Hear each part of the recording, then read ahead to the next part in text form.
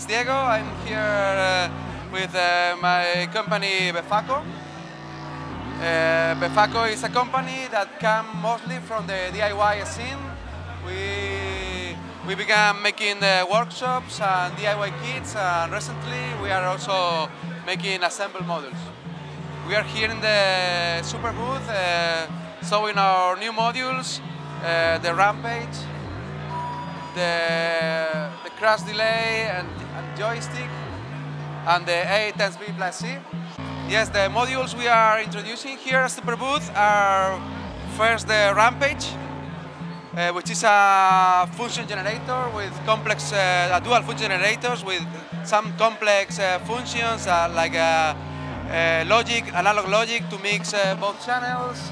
And you have uh, rising and falling gates uh, coming from these uh, envelopes, and you can use it, of course, as an envelope. You can use it as an LFO, and as an audio oscillator with some good tracking. You can use it as a processor for other CVs. You can process audio as a low-pass filter. You can process CV as a slew limiter. And all of it is uh, under voltage control, so it's quite a multi-Swiss knife uh, module for your Eurorack system. Uh, the main thing is uh, mostly envelope and LFO. These are the main things but uh, it's also very useful as a slew limiter for a keyboard maybe. You can have independent time when, when you make, for example, portamento with it. You put your CV signal, your tape CV signal through it. Um, you can make portamento with independent time for rising and falling. So for example, you can have a keyboard and you have portamento only when you're going up on the notes and not when you go down. Or yes, you can make a so, so some filtering with it, or you can smooth the, some waves, even audio waves or LFOs to make new, new waves. These are the main. Yeah, you have two separate channels, but then you have the combination of both in three ways, in three different ways. One of it is the maximum. You have like the maximum level of both anytime, and you can, with the balance, uh, trim the volume of each before they go to the zooming state. At the same time, you have the minimum which is the opposite of the maximum output when you have like the the down line of this uh, combination of two. Have any time like the minimum time of both, also with this balance control. And uh, last, you have the A bigger than B bigger than A output, which is a, a digital out, like a gate out, which is uh, on all the time. B is bigger than A, so you can create gates from your envelopes or from your LFOs. You can trigger a third thing from your from the level of both the of both the envelopes or LFOs or also from external signals because it also works as a processor, not only a generator device.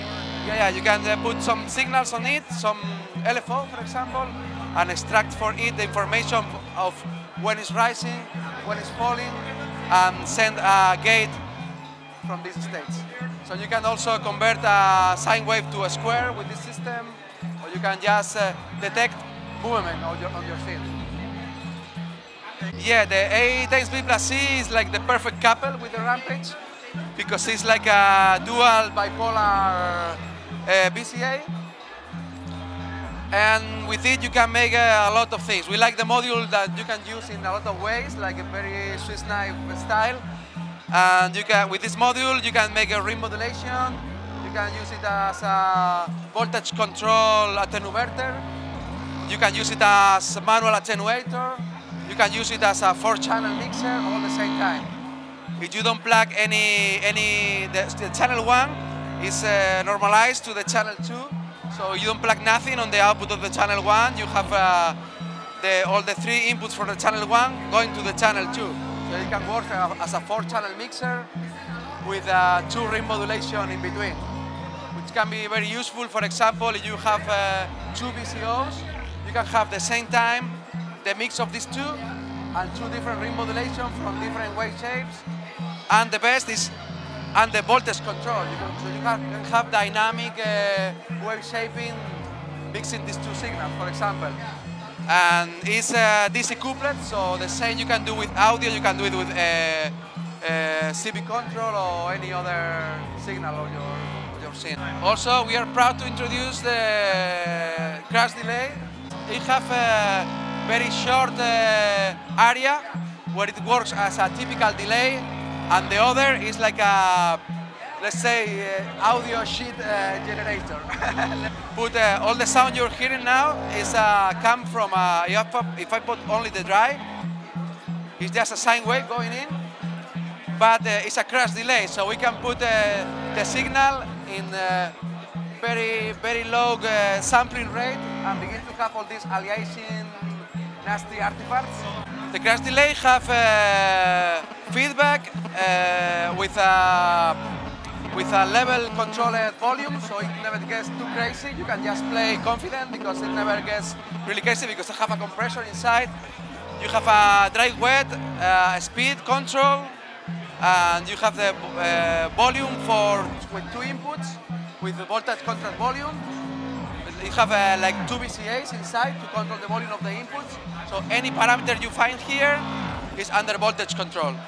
And the chip inside is a classic uh, digital delay chip. It's called PT2399. It's a chip that was designed in the beginning for karaoke application and these kind of things. But it's very popular in the DIY scene because it's a one chip delay.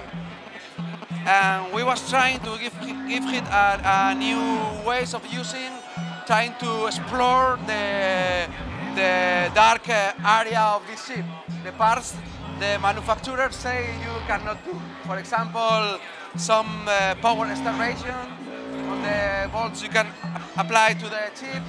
So, uh, so the chip is starving, don't have enough energy to work, and you have you can have extra low-fi sounds, or you can make it work in uh, slower delays than it's supposed to make. So you get this uh, this, uh, how is this called in English? Sorry, there's uh, downsampling effects. So you don't have enough samples per second and the sound gets destroyed.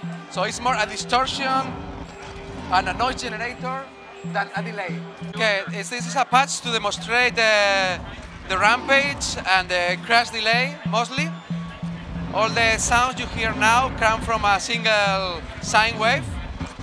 I will, I will remove this control just to show. This is the dry signal coming from, from our, our even VCO.